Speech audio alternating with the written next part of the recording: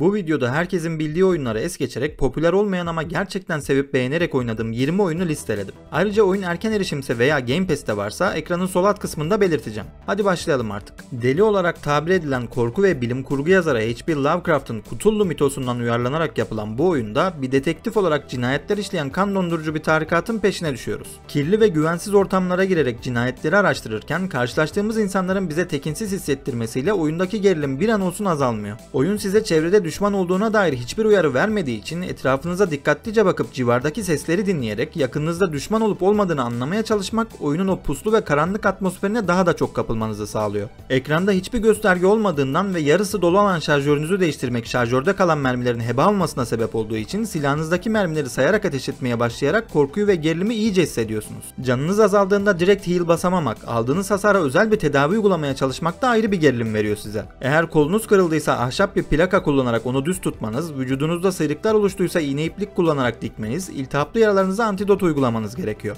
Eğer bunları yapmazsanız zamanla yaralarınız daha kötü hale gelip sizi öldürebiliyor. Bu yüzden kaynak yönetimi de son derece önemli oyunda. Yine de kısa bir uyarı yapayım. Oyunda maalesef çok bug var ama bunların bir kısmını Steam üzerinden manuel olarak düzeltmek de mümkünmüş. Alırsanız buna da bir bakın mutlaka. Trenimizle yolculuk ederek açık dünyayı keşfediyoruz ve bulduğumuz itemleri lootlayarak trenimizi geliştiriyoruz. Peki neden? Çünkü gördüğü her yerde bize saldıran örümcek şeklinde bir tren ve bizi durdurmaya çalışan düşmanlar var peşimizde. Onları tamamen yok etmeye gücümüz yetmediği için önce trenimizi daha donanımlı hale getirmemiz gerekiyor. Ama uyarayım tüm yan görevleri yapsanız bile oyun totalde 3-4 saatlik bir oynama süresine sahip. Bu yüzden bu kadar kısa süren bir oyun için 8 dolar vermek istemezseniz istek listenize atıp daha iyi bir indirim bekleyebilirsiniz. Bu oyunda da felaket senaryolarında otobüs şoförlüğü yapıyorsunuz. Kimi zaman yolcuları patlayan bir yanardağdan boşalan lavlardan kurtarmaya çalışıyor, kimi zaman da Çernobil'deki radyasyondan kaçmaya çalışıyorsunuz. Oyunun grafikleri ve efektleri pek de güzel görünmese de fırtınadan heyelana, sel baskınından bozuk yollara kadar birçok felaket senaryosunu size sunduğu için bu fiyata denenmeyi kesinlikle hak ediyor bence. Uzay gemimizin kaza yapmasıyla beraber uzayda mahsur kalıyor ve kurtulmak için etrafı araştırarak bir şeyler craftlamaya başlıyoruz.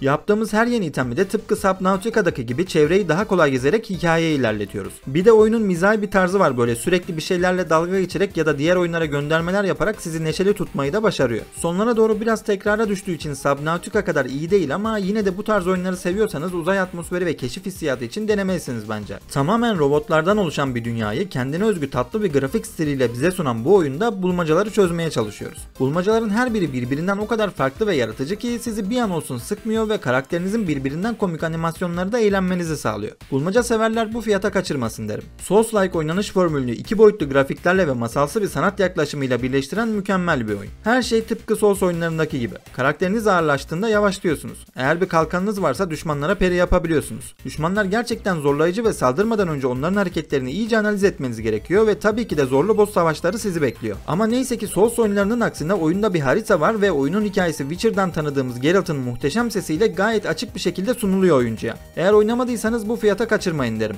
İşlerin çığırından çıktığı bir üretim tesisinde yolumuzu bulmaya çalışırken karşımıza çıkan notları okuyarak ne olduğunu anlamaya başlıyoruz. Siyah beyaz karanlık atmosferiyle sizi gelen bu oyunda sadece tek bir silahınız ve el feneriniz var. Ama bunları aynı anda kullanamadığınız için karanlıkta düşmanlara hedef almak hiç kolay olmuyor ve bu da ayrıca bir gerginlik katıyor oyuna. Yalnız uyarayım oyunun fiyatı uygun olsa da 1 saat gibi çok kısa bir oynanış süresine sahip. Almadan önce bunu da göz önünde bulundurun. 2 kişi co-op oynanabilen açık dünya bir Souls oyunu. Düşmanları öldürerek topladığınız Souls'larla yeni yetenekler kazanıp silahlarınızı geliştirirken NPC'lerden aldığınız görevleri tamamlayarak çeşitli ödüller kazanıyorsunuz. Birbirinden farklı düşmanlarla dolu bu büyük haritayı arkadaşınızla birlikte keşfetmek ve zorlu bosslara karşı beraber savaşabilmek son derece keyifli. Çizgi filmlere benzeyen grafik stiliyle retro bir atmosfere sahip olan bu oyun çizgi roman formatındaki hikaye sunumuyla ve old school savaş mekanikleriyle diğer oyunlarda kolay kolay bulamayacağınız bir nostalji sunuyor size. Birbirinden farklı yakın silahların yanı sıra ateşli silahların da bulunduğu bu oyunda gizlilik mekanikleri de yer alıyor. Retro FPS severler kesinlikle kaçırmasın bence.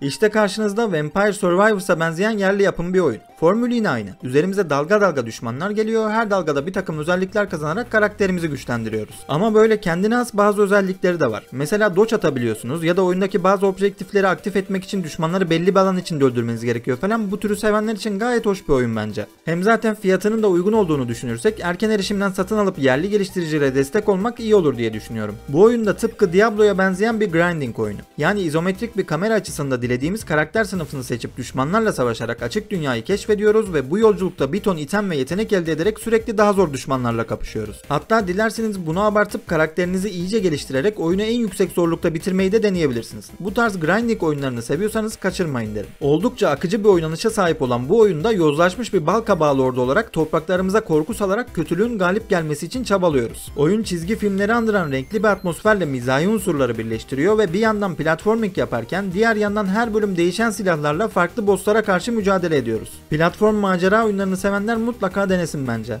Bu oyunda da bir apartman yöneticisiyiz aslında ama basit bir yönetici değiliz. Özgürlükleri kısıtlayan baskıcı bir devletin muhbiriyiz. Apartmandakileri gözetleyip devlet otoritesine muhalefet eden herkesi tespit ediyor ve devlete ihbar ediyoruz. Ama güzel olan şu ki oyun bize seçim şansı sunuyor. Bu da aldığımız kararların sonuçlarıyla ortaya farklı senaryolar çıkabilmesini sağlıyor. Bu tarz özgün konulu oyunlara çok rastlamadığımızı düşünürsek bu fiyata denenmeyi kesinlikle hak ediyor bence. Güzel müzikler eşliğinde bisikletinizle çeşitli parkurlarda akrobatik hareketler yapabileceğiniz eğlenceli bir oyun. İster denizin ortasındaki zorlu parkurda yeteneklerinizi test edin, isterseniz de biraz kafa dinlemek için ormanın içinde bisiklet sürün. Günün yorgunluğunu atıp oyun oynayarak dinlenmek için ideal bir oyun. Şimdi de karşınızda co-op oynanabilen bir bulmaca oyunu var. Üstelik co-op olmasının da hakkını veriyor. Mesela böyle siz bir bulmacayı çözmeye çalışırken arkadaşınız da başka bir yerde o bulmacayı çözmeniz için gerekli olan bilgiyi sizinle paylaşıyor. Ya da oyunun kendi içinde bir telsiz sistemi var mesela. Telsizle konuşuyormuş gibi bir tuşa basıp söyleyeceklerinizi söyleyip arkadaşınızdan cevap bekliyorsunuz. İşte böyle oyun boyunca arkadaşınızla iletişim kurup işbirliği yaparak oynamak da oyunun keyfini katlayarak artırıyor tabi. Oynayacak arkadaşınız varsa ve bulmaca çözmeyi seviyorsanız kaçırmayın derim. Rusin ve mutlu bir hayat sürerken bilinmeyen bir gücün dünyayı işgal etmesiyle Dünyalar Savaşı filmini andıran gergin bir atmosferle karşılaşıyor. Bilinmeyenin verdiği o gizemli korkuyu içimizde hissediyoruz. Limbo ve Inside gibi minimalist bir oynanışla çevresel hikaye anlatımını birleştiren bu oyunda etrafımızda ne olup bittiğine bakarak oyunun konusunu anlamaya çalışıyoruz. Oynanış çok keyifli olmasa da oyunun atmosferi ve etkileyici sanat yaklaşımıyla size sunulan sinematik görsellik kısa süre içinde sizi içine alarak sürükleyip götürüyor. Türünün en iyisi değil belki ama bu fiyata kesinlikle oynamaya değer bence. 3 oyunun birlikte yer aldığı ve yalnızca 7.87 dolar olan New